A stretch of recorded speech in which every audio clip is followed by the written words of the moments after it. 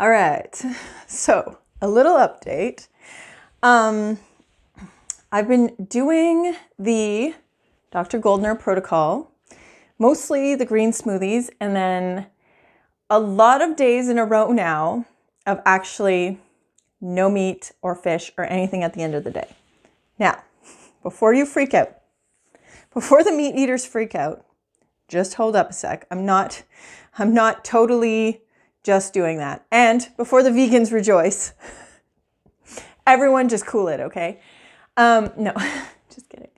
So, what I've been doing on the days that I don't have meat, which has pretty much been like two weeks in a row now. Vegans, you're gonna hate this. Um, every second day or so, I calculated it out how many I would have to take.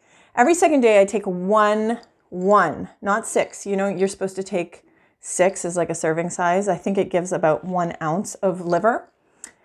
Um, I've been taking one capsule every two days because that's enough to get your B12 for those two days. Um, other than that, I haven't been doing uh, any other meat products except recently I was on my period. So I took six of these pretty much two days in a row, I think. Something like that. Two or three days in a row. I took, I think one day I actually took 12 because I was so bad off. Um, but as I don't know if you guys can tell, but I'm still kind of like on my period and my lips look, in my opinion, if I do say so myself, they look like pink, which is good for me. So back on these, um, spleen, this is spleen by um, Ancestral Supplements. And these really do work for me right now. I think there's something about not eating meat and stuff all day that makes these almost work better. Or maybe it's because I was so low or something, but um, they're working for me really good right now with the Dr. Goldner's green smoothies all day. Um, I guess, I don't know, like for some reason. Anyway, it's working. And I just took them for my period and then I haven't taken them uh, in a couple days now. My lips are still looking okay. So we're to stay with that. If I get low again, I'll take them again. But I had a lot of questions in my last video, and I'm sorry I didn't answer them. I've just been a little uh, into life, you know, um, about why. Why am I doing this? So, the first reason is I started the Dr. Goldner protocol because it's supposed to like alleviate like um, autoimmune stuff. And I figure a lot of my kind of allergic reactions to food might be autoimmune. I don't know. But anyway, I noticed that when I was on the Dr. Goldner like smoothies all day and big salad at night, I noticed that this lung infection that I've been kind of like dealing with for a while, it's not bad. Like it doesn't actually make me cough, but it just makes me clear my throat like that all the time. That actually started going away the days that I didn't have fish or meat. And then on the days that I did have meat, it would come back.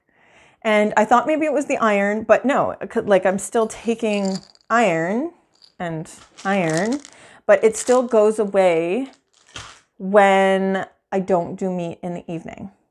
Don't really understand it, but I did get the Cove Cove uh, a while ago. Um, it's been a couple years now, I think, since I got it, but I always wondered if it wasn't like kind of lingering in my lungs because ever since then I've had like lung feelings and chest kind of feelings. So perhaps still lingering. Uh, so, anyway, that started going away. And I'm still very curious as to whether or not my son and I got mercury poisoned when he was inside me when I was pregnant.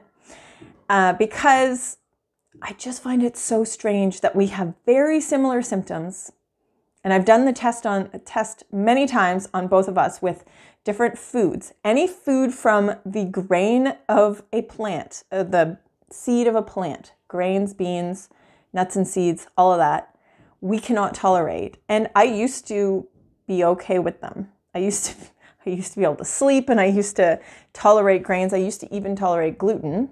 I've eaten gluten my whole life. Um, And then all of a sudden, mine got really worse. Although I did have a little bit of the headachy stuff before. So it's not a totally new thing. But since that mercury exposure, and I don't know if you guys want an explanation, basically, like one of my amalgams fell out. And I basically, I think I swallowed it because I never found it. And um, the gaping hole, okay, little interruption. The gaping hole sat there for like two days or whatever until two or three days until I could get an appointment with my dentist to fix it. Anyway, that's a lot of mercury exposure. That's more than just like chewing on your mercury fillings or eating, you know, regular fish. Like that's a lot of mercury exposure. I also figured out, I read this article, that the hair test I did for mercury does not, this was a Mark Hyman article, so take it however you want, but um, the mercury test for hair does not measure uh, inorganic mercury, which would be the one in your teeth. So whatever I had in my teeth would not show up in my hair. It would be the fish I was eating, which was in the normal range. But yeah, who knows? Was I still don't know if I'm I have mercury and the way to test apparently you have to take that DMSA or DM whatever it's called or one of those chelators and do a test with like a doctor. And that's like, I don't even know where I would do that. I don't have the money to do that. And I wouldn't do that on my son. So I think I just need to see if we can kind of like detox this through diet. And before people are like, why are you doing vegan then? That's the worst diet. You need fiber to detox mercury. You need a lot of fiber and a lot of water. Um, and that's how you get it out of your body is you, I mean, through food. You would have to eat a lot of fiber and a lot of water. And what has a lot of fiber and a lot of water? Fruit and leafy greens, uh, not liver pills, but those just kind of keep us going. I'm not doing it with my son like the way I'm doing it because um, he needs more than I do. But anyway, um, but I did add some green smoothies to his diet. But anyway, I figure if I can see a difference in myself, you know, I know, I know what it is and I know how to get rid of it then at that point. And hopefully we can get back to like normal lives eventually, whatever that will be.